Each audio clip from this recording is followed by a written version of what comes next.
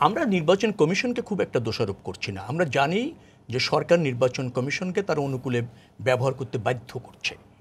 যার ফলে দায় সরকারকে বলছি আমরা। স্বামী ভাই বলছিলেন যে বাধ্য করতে হবে। কিন্তু আসলে বাধ্য করার তো প্রয়োজন ছিল না। আমাদের নির্বাচন প্রক্রিয়াটা কীভাবে হবে? কোন সরকারের অধীনে হবে? তারপর আরপিওতে বেশ কিছু দুই হাজার আটে আমরা পরিবর্তন এনে একটা সেটেল তো হয়েছিল। সংকটটা কেন হলো? সংকট তো আওয়ামী লীগ সৃষ্টি করেছে ক্ষমতায় এসে তাই না? এটা সেটেল ইস্যু ছিল যে আমাদের নির্বাচনটা কোন প্রক্রিয়ায় হবে। সব দল সমান সুযোগ পাচ্ছিল ভোটার অবাধে ভোট দিচ্ছিল পার্লামেন্ট বসছিল ক্ষমতার পরিবর্তনও হচ্ছিল। কিন্তু বিতর্কিত করল কে? আওয়ামী লীগ এসে ক্ষমতা দখল করেছে বিতর্কিত তো কেউ করেনি। তো আপনি বলবেন দুই হাজার আটের কথা।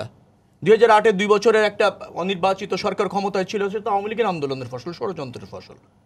সংবিধান অনুসারে কে এম হাসান প্রধান আপনার উপদেষ্টা হওয়ার কথা ছিল আওয়ামী লীগ মানল না।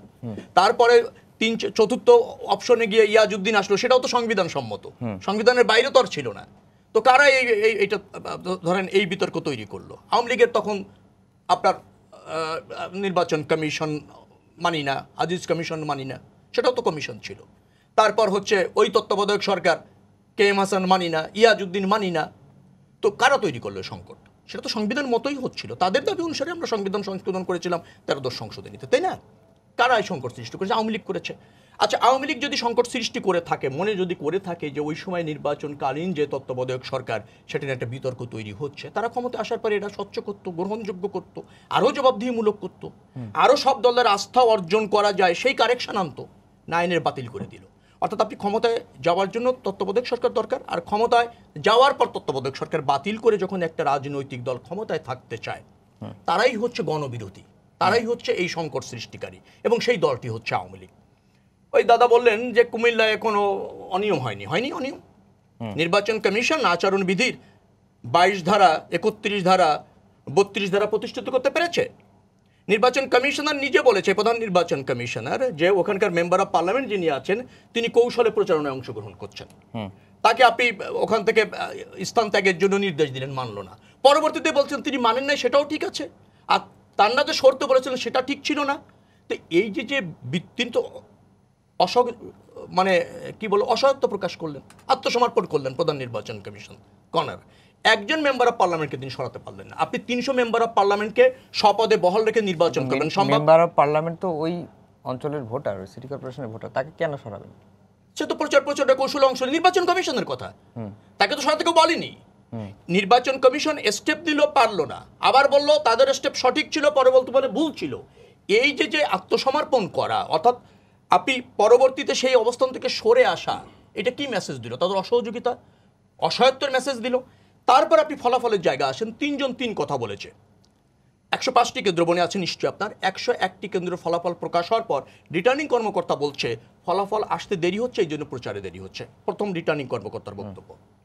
আরেকজন নির্বাচন কমিশনার বলছে যে ওই সময় ফলাফল ঘোষণা করা যায় নাই নিরাপত্তা বিঘ্নিত হতো এখানে বড় ধরনের জানমালের ক্ষতি হতো এই জন্য করা যায়নি।